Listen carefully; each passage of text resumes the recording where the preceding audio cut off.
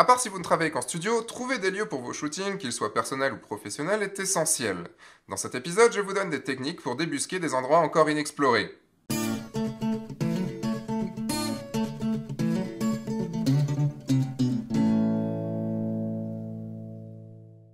Bonjour, je suis Sébastien Roignon et vous êtes bien dans un nouvel épisode de F1.4.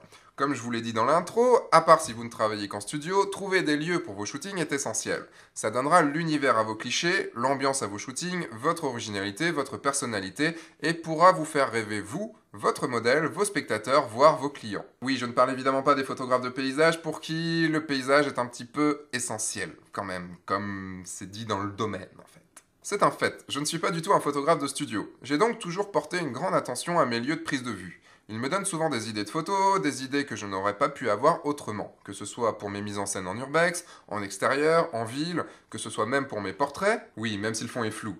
La lumière n'arrive pas du tout pareil dans un endroit comme dans un autre. Ou que ce soit la beauté du lieu qui fait que mes modèles ont des étoiles dans les yeux.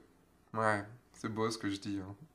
Car oui, c'est aussi très important pour vos modèles d'être dans un endroit spécifique qui vont les sublimer.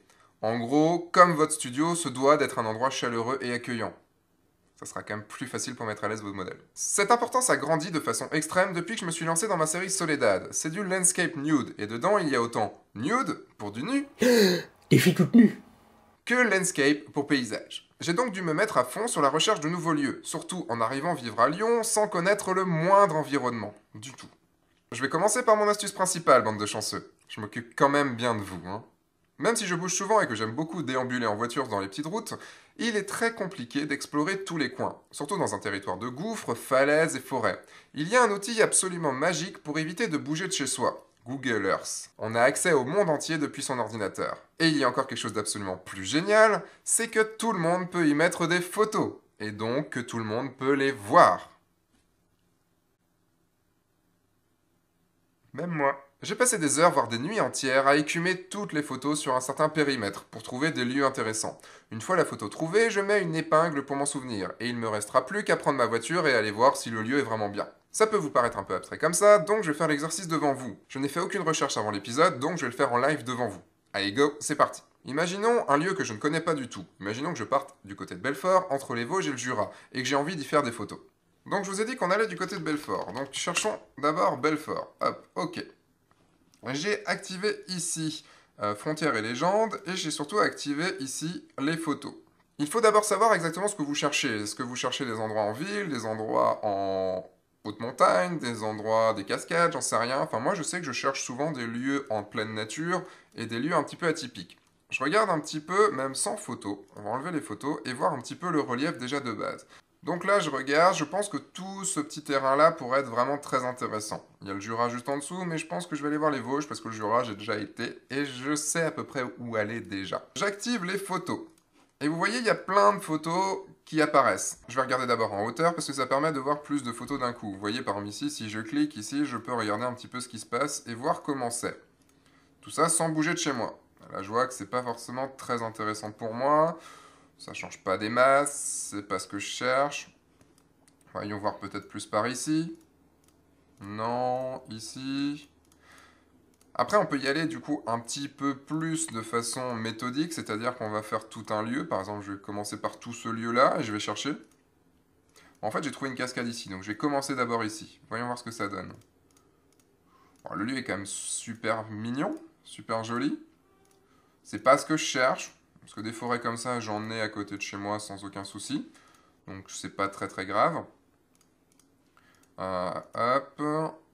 Et je peux y passer comme ça un petit peu beaucoup de temps.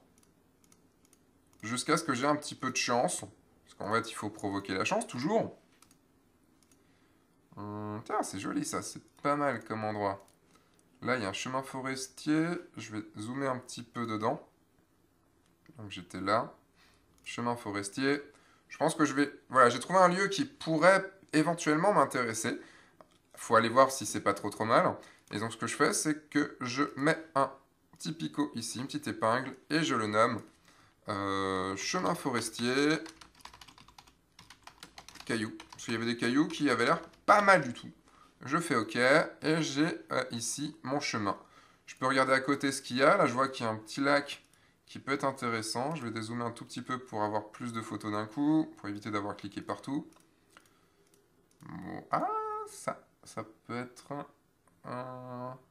Ah non, ça c'était le lac à sec. Ça permet aussi de voir certains endroits à sec ou pas, enfin, avec de la neige ou pas, et euh, ça vous permet de naviguer aussi dans le temps. Parce que du coup, quand même, la nature, on sait très bien qu'elle change. Oh, c'est mignon ça. Euh, ah, il pas mal ce rocher. Pas exceptionnel, mais il est pas mal.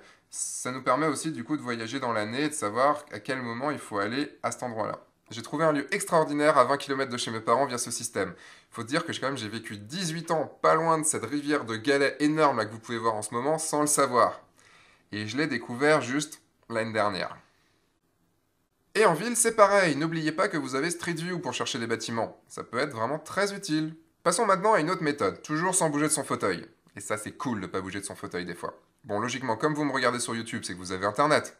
C'est logique. Et il faut savoir que certaines personnes créent des blogs, des sites avec les lieux sortant de l'ordinaire, des lieux que vous avez peut-être envie de trouver. Ils peuvent en parler du coup sur leur site, sur leur blog, sur leur Facebook, et souvent ils trouvent des lieux supra top.